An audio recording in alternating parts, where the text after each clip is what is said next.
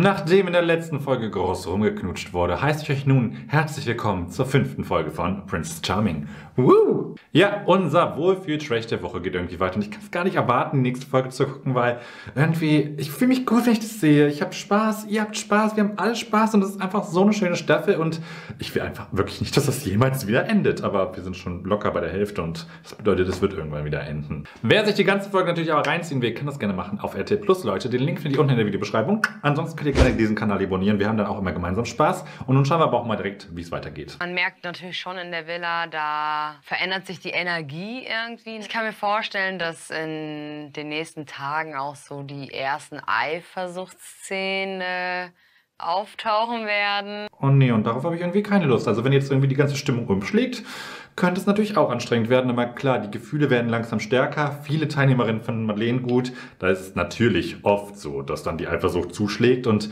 ah, wenn dann die Charaktere eklig werden, oh Gott, wir wollen den Tag nicht vorm Abend loben. Ich glaube, ich muss noch so ein bisschen realisieren, warum wir wieder eigentlich hier sind. Und ich möchte natürlich Madeleine kennenlernen. Dementsprechend, ich glaube, ich sollte einfach darauf scheißen, so auf die anderen. Ist mir egal, ob ich mich dann wieder unbeliebt mache oder so. Und dann es ist mir einfach egal. Oh, und ich freue mich ja direkt, dass Elsa da ist, immer noch. Also da merkt man auch so, sie kam in diese Gruppe rein und sie ist so, sie ist ein ganz anderer Vibe plötzlich. Und auch die Gruppe verändert sich, glaube ich, dadurch jetzt einfach nur, dass Elsa da ist. Und gerade wenn ihr alles egal ist und sie voll Ellenbogen drauf ist, ja, schlagen die ja natürlich auch wahrscheinlich zurück. Ihr glaubt vielleicht, ihr kennt mich schon ganz gut. Doch es gibt einiges, was ihr noch nicht über mich wisst. Und die werden das jetzt also etwa erfahren? Oh mein Gott. Also manche von denen werden da jetzt wahrscheinlich sitzen. Ich habe keine Ahnung, wer Madeleine ist. Ich hatte noch, ich hatte ein Gruppendate und zwei zehnminütige Gespräche mit ihr. Keine Ahnung, wer dieses Girl ist. Aber mal gucken, was passiert. Elsa, Aisun, Melanie und Lilly. Seid ihr bereit, euch auf die Spuren meiner Vergangenheit zu machen? Oho, das heißt aber was. Und Elsa kriegt schon wieder direkt ein Date. Also gestern ein fettes langes Einzeldate und jetzt direkt ein Gruppendate? Alles klar. Ja, okay, alles klar.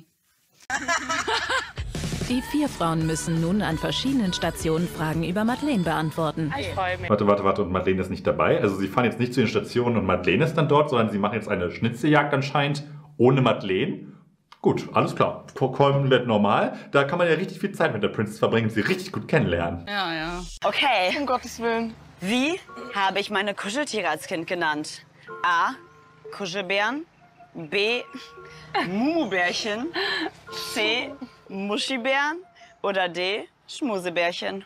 Ich hoffe, es ist nicht B oder C. Ich hoffe einfach, dass es nicht B oder C ist. Ja, aber alle Kandidatinnen müssen jetzt raten, dürfen alle einmal einen Zettel abziehen, also von einem der Lösungsbuchstaben. Und wenn sie richtig liegen, kriegen sie einen Punkt. Und wenn nicht, haltet euch fest, dann nicht. Überraschend, aber ich habe es nicht anders erwartet. Wir haben auch ich glaube, wir haben alle jetzt alle Momo-Bärchen genommen?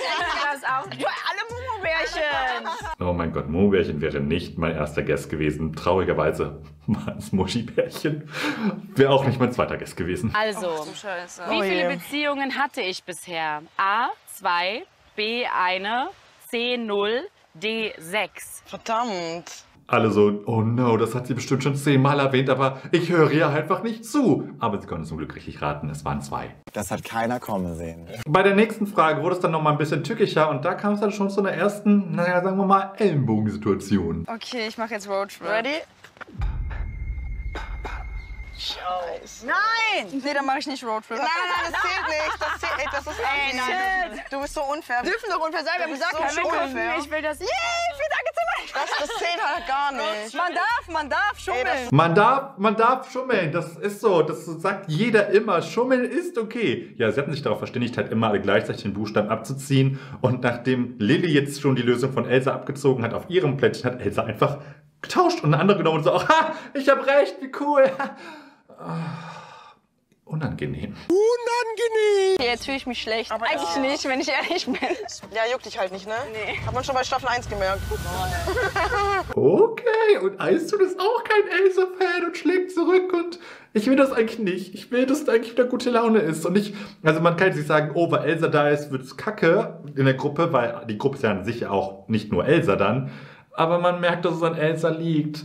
Nee. Oh nein. Die Zeit wird immer knapper. Gerade Einzelgespräche sind wirklich eine Rarität. Deswegen bekommt auch die Gewinnerin der Schnitzeljagd ein Einzelgespräch. Moment, Moment, Moment. Die schickt also jetzt vier Kandidaten, keine Ahnung, eine Stunde auf eine Schnitzeljagd, damit sie jetzt bei ihr dann ankommen, damit die Gewinnerin ein kurzes Einzelgespräch bekommt, anstatt sie sofort dahin fahren und jeder kurz mit ihr mal Zeit verbringen kann. Also, klar, Adventure-mäßig tolle Idee, für den Zuschauer auch ganz witzig, aber so praktisch war es nicht so super. Wer hat denn gewonnen? Realistisch betrachtet hätte ich gewonnen, aber wir haben hier ein Schummelbärchen. aber im? Endeffekt sie, aber im Endeffekt Du hast Schummel? Also eigentlich. Das ist ja super witzig. Ja, und Eison und Elsa haben allerdings gerade Gleichstand und deswegen muss das auch nochmal aufgelöst werden. Aber Madeleine ist auch so, ist das jetzt irgendwie cool oder nicht? Ich weiß ich nicht. Ich finde Schummeln nicht gut, aber auf der anderen Seite weiß Elsa halt, was sie möchte und tut halt dann auch was dafür. So kann man das natürlich auch auslegen. Ich würde aber trotzdem denken, wenn man in solchen Situationen schummelt, ist es einfach krass uncool und das, sowas macht unattraktiv, finde ich. Das ist einfach nicht imponierend, sondern einfach so, wirklich? Dein Ernst? Nur unangenehm. Die Frage ist jetzt allerdings, wann hat sich Madeleine geoutet, Leute? Eins. 21. 16. So ein, 21 gesagt? Ja, ich habe keine Ahnung. Ja, also ich bin so 20, 21 erst. Ja. Herzlichen Glückwunsch, meine Liebe. Danke, meine Liebe. das bedeutet, ich kriege jetzt das Einzelgespräch mit ihr. ja, und dann ziehen sich Madeleine und Elsa zurück und quatschen wieder miteinander. Elsa hat irgendwie gewonnen und das ist so. Ich will das nicht. Das heißt, wenn wir jetzt ähm, Boardgames spielen, dann bist du auch am Schummeln? Nein, bei Spielen nicht. Aber im echten Leben schon. Das ist eine richtige Red Flag-Aussage. Bei Spielen bin ich fair, aber im echten Leben, bam, da scheiße ich drauf, auf die Gefühle von anderen, da wird geschummelt, wie es Zeug hält, Hauptsache ich. Ja, cool. Ach, das klingt total nett. Frau dazu kommt so spät und ich trotzdem so schnell, so intensiv interessiert an ihr bin. Küssen. Oh mein Gott. Und Madeleine erzählt so, boah, Elsa, ich bin interessiert an dir, ich hab Bock auf dich. Obwohl du so spät eingezogen bist, ist sofort eine Connection da. Und Elsa so, knutschen? Du kannst ruhig darauf was erwidern, Elsa. Du musst nicht jetzt einfach rumknutschen. Ihr habt das, die Möglichkeit, miteinander zu quatschen. Knutscht doch nicht nur rum. Ja, der Tag ist tatsächlich für mich heute noch nicht vorbei. Und zwar gibt es noch ein zweites Date und ich bin sehr aufgeregt. Ja. Aber warte, warte, warte. Die haben jetzt eine ewig lange Schnitzeljagd gemacht, um da alle hinzufahren, um kurz mit Madeleine Hallo zu sagen. Dann durfte Elsa jetzt weggehen mit Madeleine quatschen. Sie kommt zurück und dürfen dann alle nach Hause fahren? Toll, da würde ich mich ja riesig doll freuen. Mal eine Frage, Station, Frage und dann halt vier Antworten und dann die richtige abziehen und wir mussten Punkte sammeln. So. Ah, echt jetzt? Oh Mann, das wäre meins gewesen. Ich liebe so Sachen. Schnitzeljagd, Leute. Fuck, dass ich nicht dabei war. Und Nina ist auch richtig kompetitiv. Ich will das eigentlich auch machen, Mann! Also die regt sich jetzt nicht mal darauf auf, dass die Madeleine nicht sehen konnte, sondern einfach, ich liebe Schnitzeljagd. Schade. Habt ihr geknutscht? Ähm, ich habe mitbekommen, soweit ich das verstanden habe, dass kein Kuss gefallen ist. Also mich hat das äh, tatsächlich etwas beruhigt. Witzigerweise ist allerdings ein Kuss gefallen. Also das habe ich jetzt gerade nicht gezeigt, aber natürlich war Madeleine so, ach Elsa, du willst wieder knutschen, okay?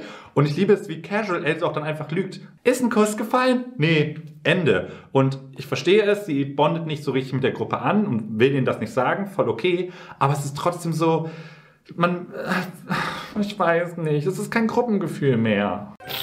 Liebe Nina, die nächsten Stunden gehören uns allein. Hast du Lust, den Abend mit mir ausklingen zu lassen und morgen neben mir aufzuwachen? Okay, und Nina bekommt das Übernachtungsdate und Natalie auch so, freut mich. Ich weiß gar nicht, wie ich mich jetzt gerade fühle. Ob ich mich freuen soll oder ob ich heulen soll. Irgendwie ist nach dem Übernachtungsdate Zug immer so ein bisschen abgefahren. Ja, ne? Ja, guck mal, das ist sowas Intenses. Guck mal, die haben jetzt noch den ganzen Abend, die haben die ganze Nacht. Ich bin so sauer. Ja, dass du jetzt nicht auch noch das Übernachtungsdate bekommen hast, Elsa, da wäre ich jetzt auch richtig krass sauer.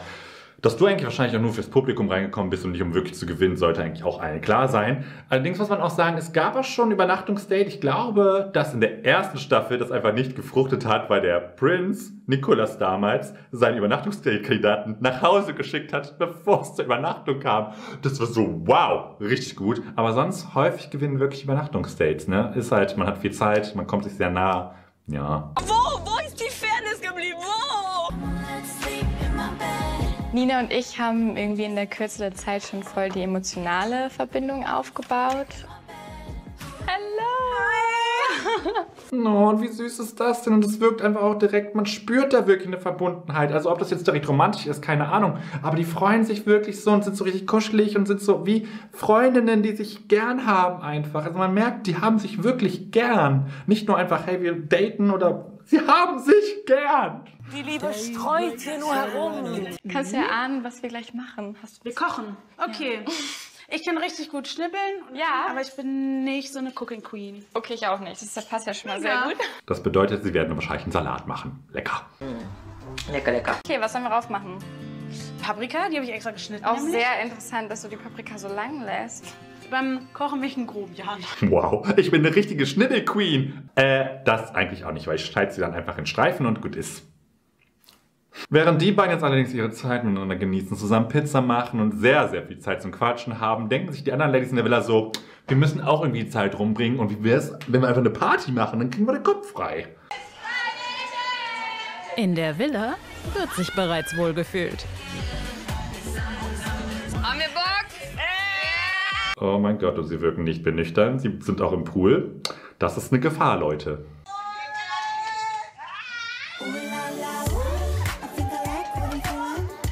Und Melanie und Steffi knutschen dann plötzlich miteinander rum und alle so, oh mein Gott, guck, was die da machen. Wollen wir es auch machen? Kann man doch echt einfach mal machen.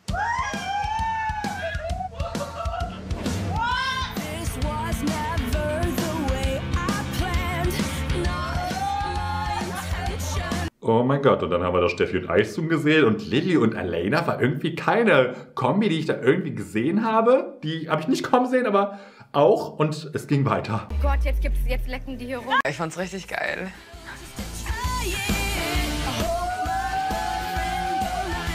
Und Natalie fühlt's auch wieder komplett. Ich meine, die hat ja nicht mal die Princess bisher geküsst und möchte sich da ein bisschen zurückhalten und ist ein bisschen ruhiger, was das angeht, aber die Party eskaliert schon wieder. Und normalerweise würde ich mir auch denken, ah, das ist ein bisschen too much, aber man muss immer noch sagen, Madeleine knutscht auch mit allen wild rum und dann können die Kandidatinnen, das finde ich, auch machen. Also sie sollten nicht direkt mit anderen auch anbandeln, weil das ist irgendwie dann wieder komisch, aber einfach nur so in der Party rumknutschen, kann man durchgehen lassen. So, so sagen wir so, drücken wir ein Auge zu. Okay? Okay. Okay. Ich werde hier niemanden küssen. Ich will hier mit niemandem was haben im Haus. Ich möchte einfach nicht. Aber es, glaube ich, liegt nicht daran, weil Elsa generell abgeneigt ist, sondern weil Elsa einfach mit dieser Gruppe halt nichts zu tun hat. Immer noch nicht. Und das merkt man auch hier wieder. Die so, ah, die machen alle miteinander rum und haben Spaß. Ich gehöre da nicht zu. Tschüss. Es ist mh, schade. Er fühlt sich wohl mit Nina. So, ich hoffe, ihr habt einen schönen Abend. Aber wir hatten alle auch einen guten Okay, und auch Jess war beteiligt. Und ich glaube, jetzt die einzigen, die ich jetzt nicht groß rumknutschen sehen habe, waren Gabi, Natalie halt und Elsa. Ich glaube, das war es auch schon. Und sonst haben alle miteinander irgendwie losgelegt. Okay. Cheers. Mhm. Mhm. Dieser Käse kippt überall. Das ist natürlich dann herrliche Pizza. Ne? Okay, sie haben, glaube ich, veganen Käse offensichtlich genommen, weil Madeleine ja Veganerin ist. Und dann ist das natürlich als Ersatzprodukt. Manchmal verläuft er nicht so gut im Ofen. Wird dann super fürs Knutschen nachher. mein Mund klebt es.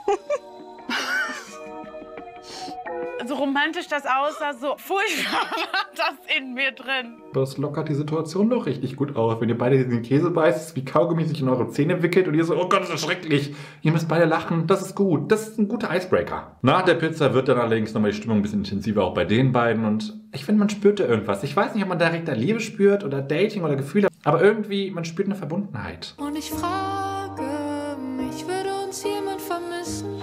Das ist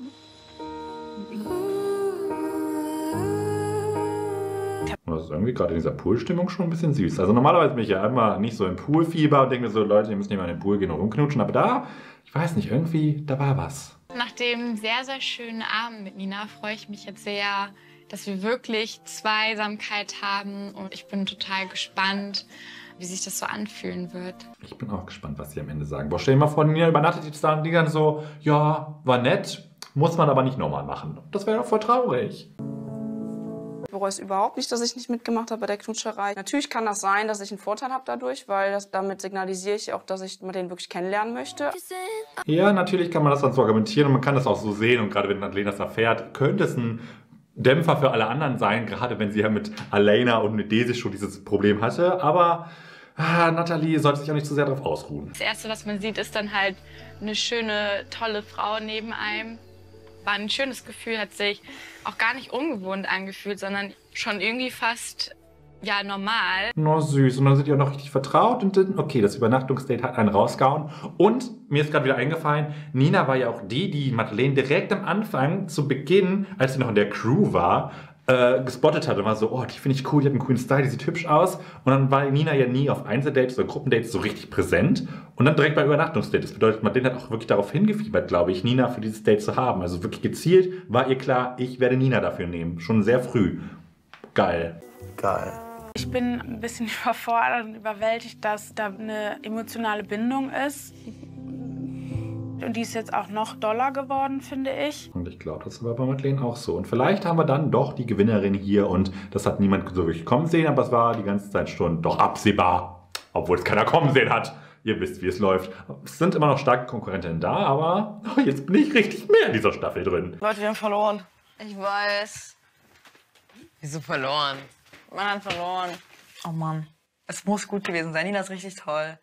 Das ist das Schlimme daran. Und wenn sogar Elsa sagt, die richtig Ellenbogen drauf ist und mit der Gruppe nichts zu tun hat, sagt, boah, Nina ist richtig toll, das muss toll gewesen sein, dann muss es toll gewesen sein. Also wirklich. Ganz nett. Wir hatten wirklich äh, Zeit zu quatschen, aber auch um, zu knutschen.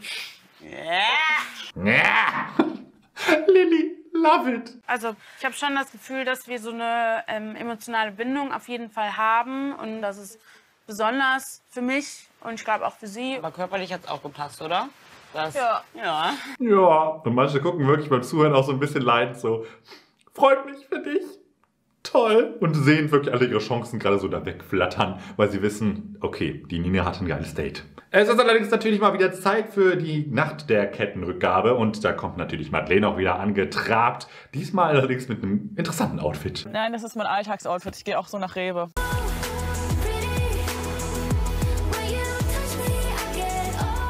Kann mir vorstellen, dass gerade nach dem Übernachtungsdate mit Nina der Druck einfach gestiegen ist. Ist er definitiv. Und ich fragte mich gerade kurz, hat die Produktion diesen Rock ausgewählt? Weil wer nimmt wirklich so einen Rock, den man die ganze Zeit festhalten muss beim Laufen? Das würde mich ja so aufregen. Warum quälen sich Frauen so oft mit ihren Klamotten, dass sie sagen, sieht zwar schön aus, aber es ist super unpraktisch? Leute, nehmt einfach geile Klamotten, die leger sind, die cool sind. Es ist immer besser. Oh, der Blazer. Oh, der Blazer.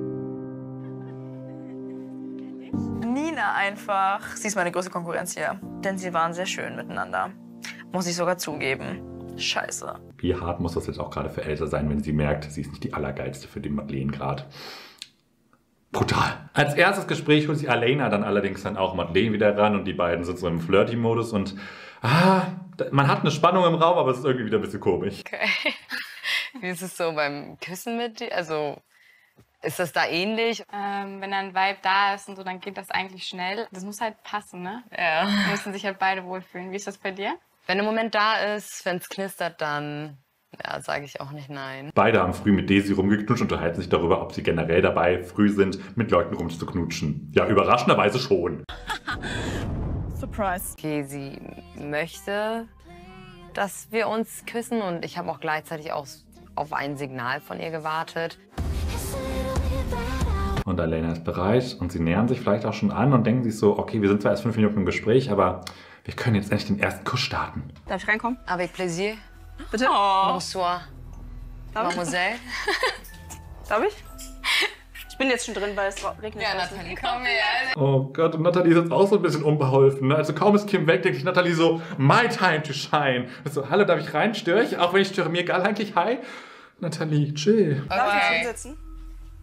Natürlich. Ich äh, verabschiede mich ja. von dir.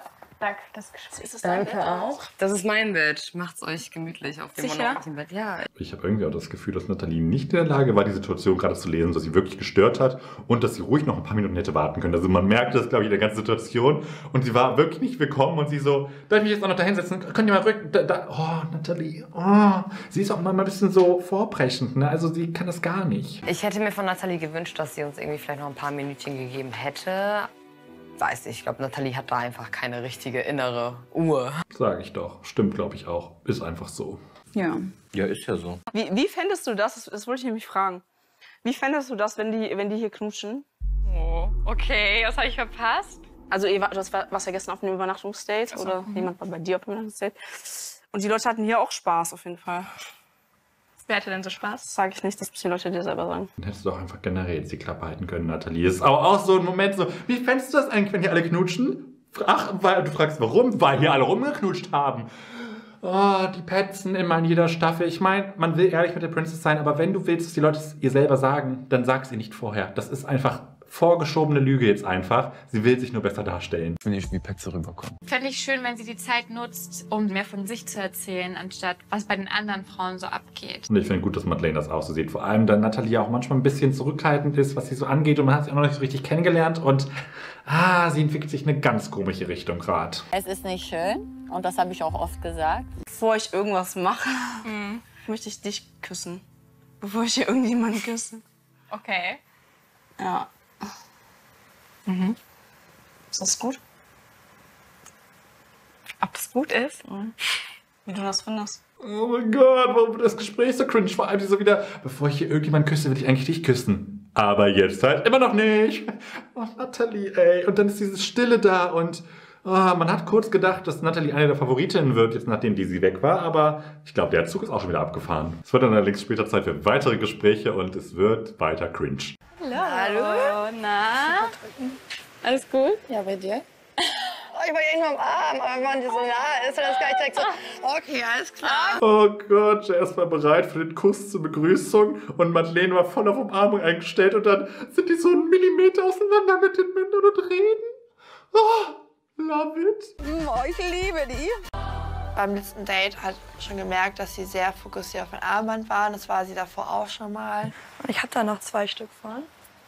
Wenn du möchtest, du kannst auch beide haben, aber dass du dir gerne eins aussuchen. Auch ein komischer Move. Oh, du findest mein Armband schön. Davon habe ich noch zwei. Ramsch, ramsch. Also, eins wäre okay. Das wirkt süß. Hey, kann man auch so ein Pärchending draus machen, irgendwie whatever. Aber so, hey, ich habe noch zwei. Willst du irgendeins davon? Das macht irgendwie die Geste so, so weniger wert. Wisst ihr, ich meine einfach so, ja, ich habe noch ein paar übrig. Kannst du haben.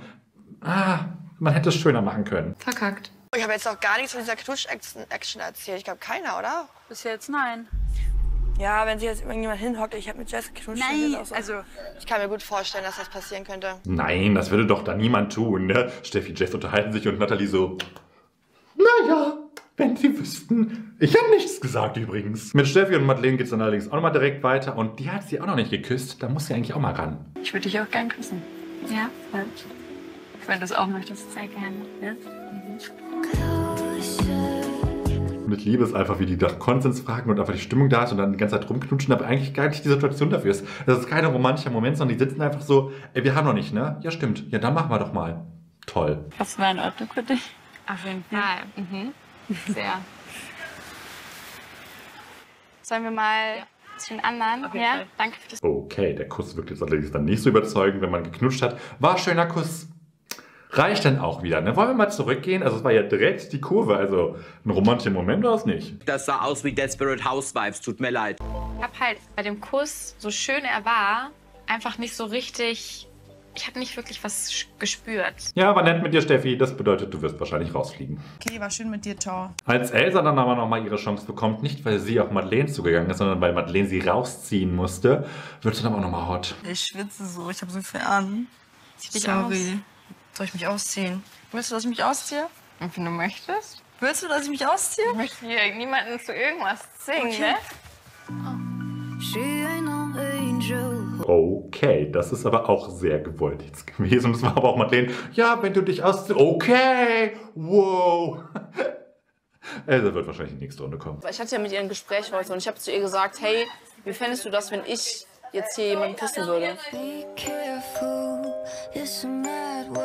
Dein Ernst, Nathalie? Vor allem war das nicht die einzige Aussage, die du getätigt hast, sondern der Fokus war schon darauf, dass alle anderen miteinander rumgeknutscht haben. Nathalie. Hinterfotzig, was soll das? Willst du das droppen? Was? Dass wir äh, gestern eine Poolparty hatten? Wolltest du das erzählen? Nein, ich habe erzählt zu ihr, wie sie das fände, wenn ich mit jemandem was hier hätte. Das ist schlicht gelogen. Du hast auch erzählt, dass alle miteinander rumgeknutscht haben. Du hast nur nicht gesagt, wer alles daran beteiligt war, aber du hast es gesagt. Und es war offensichtlich der Fokus deiner Erzählung. Also du hast im Nebensatz gedroppt, wie fändest du das, wenn ich das machen würde? Weil alle anderen haben es gemacht. Aber das, der Fokus war definitiv nicht darauf, wie es bei dir wäre. Fliegen Es ist nicht meine Verantwortung, ihr das zu sagen. Das ist meine Einstellung. So. Und äh, dementsprechend habe ich ihr das auch nicht gesagt. Für mich war wichtig zu klären in dem Gespräch, wie sieht sie das bezogen auf mich. Gott, ich hasse es, wenn sie so hinterhältig werden. Und ich bin mir gerade nicht ganz sicher, ob Nathalie das erzählt hat und sich jetzt selber einredet, dass sie es gar nicht so schlimm gemacht hat. Ich, ich bin mir nicht ganz sicher, aber jetzt fängt es an. Jetzt drehen die Leute langsam am Rad. Die Staffel wird anders. Elsa ist eingezogen, Nathalie dreht durch. Der Wohlfühl-Trash endet schon wieder. Mann, was war das jetzt so? Zwei schöne Folgen oder was? Boah, jetzt wird's ekelhaft, Mann. Dass ich denke, dass Nathalie versucht, sich auch schön darzustellen, ähm, aber so ein bisschen auf Rücken der anderen und das mag ich nicht so richtig. Ja, genau das passiert aber leider hier gerade. Verstehe ich. Ich wäre sauer. Ich wäre wirklich genervt davon. Und ich hoffe, das wird noch irgendwie aufgelöst. Wir bleiben gespannt. Bis gleich. Bis gleich. Ciao, ciao. Ich hätte natürlich auch gerne Zeit mit ihr verbracht, aber ich habe mich halt bewusst zurückgehalten. Ja, und das finde ich auch so wertvoll und so schön von Ihnen, auch einfach für die Gruppe. Also klar kann man immer argumentieren, hä, wenn du interessiert bist, brech vor, rede mit ihr. Und nur weil du gestern das Date hattest, wenn es wunderschön ist, rede weiter mit ihr. Du musst immer Interesse zeigen. Aber es ist eigentlich auch so schön, Madeleine trotzdem nach diesem schönen Date den Raum zu geben und sagen, rede ruhig mit den anderen. Ich bin fein damit und ich weiß, was wir haben und ich muss nicht weiter dich bedrängen mit kennenlernen, wenn du gerade auch Raum für die anderen haben möchtest, um zu wissen, ob du einfach jemand Besseres hast. Und, oh, die ist so selbstsicher anscheinend in ihren Gefühlen. So schön. Gefällt mir gut. Erstmal vielen, vielen Dank für einen weiteren wunder wunderschönen Abend mit euch. Genießt die Abende echt immer sehr. Ich hätte mir schon ein bisschen mehr Würze gewünscht, aber das passiert ja irgendwie immer, wenn ich nicht dabei bin. Scheiße, sie weiß es, irgendjemand hat gepetzt. Mal gucken. Ich mag deine lockere Art mega, mega doll. Ich bin nur irgendwie mit anderen Frauen weiter. Ich habe vorher vergessen, dass Ling da ist. Aber nett, dass du da warst. Tschö, Ling. Oh Gott, das war auch jetzt absehbar langsam. Leider springt der Funke nicht so richtig über. Deswegen müsste ich dir heute die Kette leider abnehmen. Und Steffi denkt sich nur so gekurbt nach dem Kuss. Danke dafür. Allerdings sind jetzt nur noch neun Kandidatinnen da, wenn ich richtig gezählt habe. Ich glaube irgendwie so. Das bedeutet, es geht langsam in die intensivere Phase. Es sind auch nur zwei davon, glaube ich, ungeküsst, nämlich Gabi und äh, Natalie. Obwohl hat jetzt Alena irgendwann mal einen Kuss gehabt. Könnte sein, weiß ich jetzt auch nicht. Es sind auf jeden Fall viele Küsse schon passiert richtig gut. Und wir bleiben dann gespannt, wie es in den nächsten Folgen weitergeht, weil das Drama, es wird sich wahrscheinlich ein bisschen verschärfen. Und damit endet auch schon wieder die Folge, Leute. Ich hoffe, euch das Video gefallen. Wenn euch das Video gefallen hat, lasst mir gerne auch nach oben da. Ansonsten schreibt mir Gedanken in die Kommentare. Könnt ihr andere Sachen draufklicken und dann sehen wir uns beim nächsten Mal. Bis dann. Ciao.